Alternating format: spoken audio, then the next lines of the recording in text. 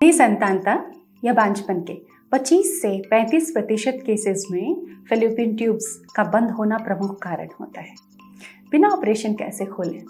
क्या प्राकृतिक तरीके हैं जो कि फुल प्रूफ हैं? आज के वीडियो में ये सारी बातें हम जानने वाले हैं। हेलो एवरीवन स्वागत है आप सभी का यूट्यूब सहेली चैनल में। मैं हूँ प्रेरणा और हम आज जानने वाले हैं कि कई पद्धतियों से आयुर्वेदिक डाइट थेरेपी और होम रेमेडीज से किस तरीके से फिलिपिन ट्यूब्स को हेल्दी किया जा सकता है। हमारे बहुत सारे व्यूवर्स ने कई सालों बाद आसानी से घरेलू तरीकों को फॉलो करके, अपना करके आसानी से गर्भ धारण किया है फेलोपिन ट्यूब ब्लॉकेज में भी। और ऐसे ही कुछ टिप्स आज मैं फिर से आप सभी के साथ शेयर करने वाली जो कि बहुत इंक्लूसिव है। आप हमें अपने विचार कमेंट करके ज़रूर शेयर करें कि आपको वीडियो कैसे लगता है, क्या आप किसी और विषय पर जानकारी चाहते हैं, या फिर आपकी कोई समस्या है तो उससे संबंधित यूट्यूब सहेली का वीडियो देखें। सर्च करें यूट्यूब में जाकर और अगर वीडियो अवेलेबल नहीं हो तो आप हमें कमेंट कर सकते हैं। हम आपके सवालों को प्रायोरिटी से जवाब देंगे। और ज़रूरी होगा तो उस पर विशेष वीडियो बनाएँगे। आयुर्वेद कहता है कि गर्भ धारण में जो समस्या आ रही है, उसका प्रमुख कारण है वात दोष। वात दोषों को भी दूर करने के तरीके जानेंगे।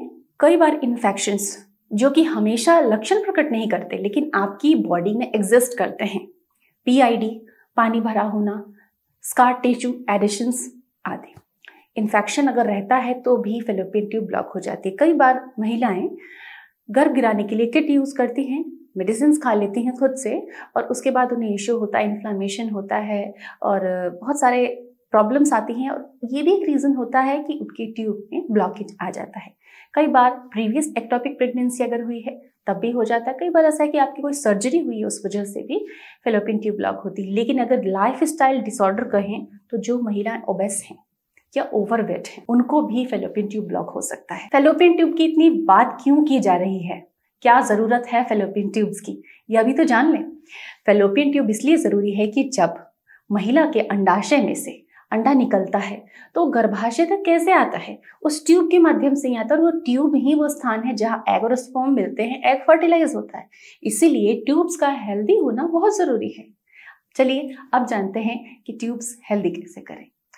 जिसकी थोड़ी बहुत प्रॉब्लम है, वो भी ठीक हो सकती है और बहुत लंबी क्रॉनिक प्रॉब्लम है, उसके लिए भी टिप्स को आप लंबे समय तक यूज़ करें तो आपको रिज़ल्ट ज़रूर मिलेंगे। क्योंकि लाइफ स्टाइल टिप्स का सबसे अच्छा बात यह है कि आपको ये पूरी तरह ठीक करता है प्रॉब्लम को जड़ से साफ़ कर देता है। तो आइए जानते हैं। आयुर्वेद के मुताबिक अगर वात दोष है उसको दूर करना है तो तिल का तेल या कैस्टर ऑयल का पैक अपने लोअर एब्डोमेन पे, नाभि के नीचे का जो यूट्रस फिलोपियन ट्यूब्स ओवरीज का जो पोजीशन है, वहाँ पे आपको पैक लगाना है मसाज करनी है। मसाज का मतलब ये नहीं है कि पूरी मांसपेशियों को रगड़ देना नहीं।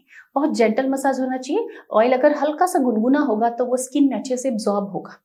इसलिए हल्का गुनगुना ऑयल का इस्तेमाल करें और मसाज अगर हो जाती है तो उसके बाद गर्म पानी में भिगोए हुए टॉवल से आप अपने बॉडी को कवर कर सकते हैं, जिससे कि ऑयल का एब्जॉर्प्शन हो जाए, या फिर हॉट वाटर बैग या बॉटल से सिकाई कर सकते हैं। इससे बहुत सारी प्रॉब्लम्स ठीक होती हैं पीरियड्स के बाद भी ओवुलेशन होने से पहले तक इस मसाज को आप कर सकते हैं और इसे हर महीने रिपीट करना होता है। अब बात आती है खान पान की। खान पान में सबसे महत्वपूर्ण चीज़ अगर ट्यूब में इश्यूज़ है तो होता है प्लांट बेस्ड प्रोटीन आप अगर प्रोटीन लेंगे तो आपकी इम्यूनिटी पे भी फ़र्क पड़ेगा यूक्रस की मांसपेशियाँ भी अच्छी होंगी और हॉर्मोन्स को भी संतुलित करने में हेल्प मिलेगा प्रोटीन की हेल्प से।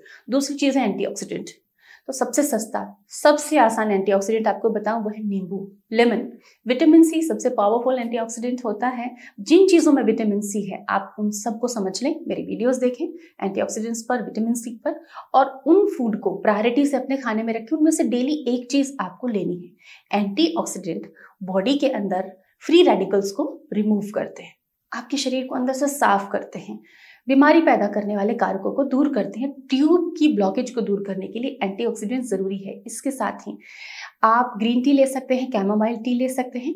जो भी फर्टिलिटी टी मैंने बताई, उसमें से कोई भी जिसका स्वाद आपको अच्छा लग रहा हो, जो आपके केस में उपयुक्त हो आप वो ले सकते हैं। आयुर्वेदिक पद्धति में उत्तर बस्ती से भी इसका इलाज किया जाता है। तो अगर आप बहुत ज़्यादा परेशान हो गए, आप चाहते हैं जल्दी से समाधान मिले तो होम रेमेडीज भी फॉलो कीजिए और आयुर्वेदा की भी मदद लीजिए। आपके शहर में इंटरनेट पर सर्च करें, जो भी आयुर्वेदिक सेंटर आपको मिलता है, आप वहाँ पर जाकर उत्तर बस्ती पद्धति से अपनी ट्यूब्स का इलाज करा सकते हैं। लेकिन उसमें भी आपको डाइट फॉलो करना पड़ेगा, तभी अच्छे रिज़ल्ट आएँगे। अदरक, हल्दी, अजवाइन, तेज पत्ता, इनकी चाय। चाय आप सबको मिला के बनाएँ अलग अलग बनाएँ। जिस भी तरीके से आप पसंद करते हो, इनकी चाय आप ले सकते हैं।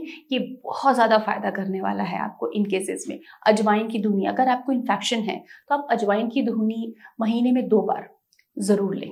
इवन पीरियड एंड होने के बाद में कुछ दिन के गैप से दो बार आप ले लें। ये आपके लिए बेहतर होगा इन्फेक्शन को बीट करने के लिए, भगाने के लिए। अब अंतिम रेमेडी योगा कई सारी स्ट्रेचिंग एक्सरसाइजेज हैं बेंडिंग एक्सरसाइजेज हैं, जो कि आपके पेल्विस की तरफ़, नाभि के नीचे जो आपके अंग हैं उनमें रक्त प्रवाह बढ़ाते हैं। Leg the wall position running jogging रस्सी कूदना, जो भी फ़िज़िकल एक्टिविटी आप कर सकते हैं, कीजिए। ज़्यादा नहीं केवल 20 मिनट रोज और सन एक्सपोजर रखिए। इससे आपका तनाव भी कम होगा और आपके अंदर एंडोफिन्स फील गुड हॉर्मोन्स बनेंगे, जिससे कि आप बेहतर महसूस करेंगे और मन के अंदर पॉजिटिविटी होगी तो आपको पॉजिटिव काम करने के लिए भी मोटिवेशन रहेगा। और डेफिनेटली फिर आप डाइट रेमेडीज जो करेंगे, उसके रिज़ल्ट आपको मिलेंगे। उम्मीद करती हूँ ये बातें आपको अच्छी लगी होंगी और इतनी आसान है कि आप आसानी से फॉलो कर सकते हैं। इसी तरह मुस्कुराते रहें, लेकिन हमें इंस्टाग्राम पे भी फॉलो कर लें। हमें मिलेंगे अगले वीडियो में। Take care bye